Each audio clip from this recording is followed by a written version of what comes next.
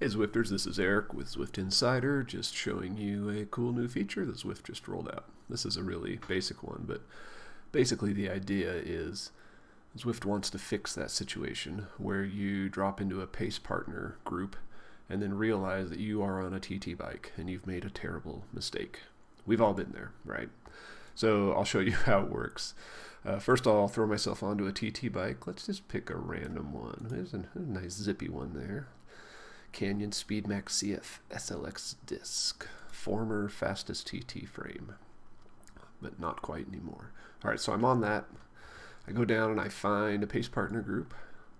Let's go with Coco, good old Coco.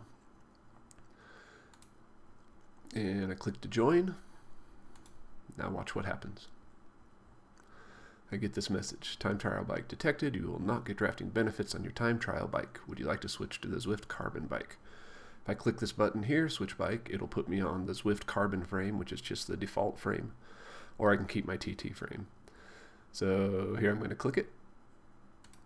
And you'll see my bike changes. I'll change my view so you can see me. It's me right in the middle there.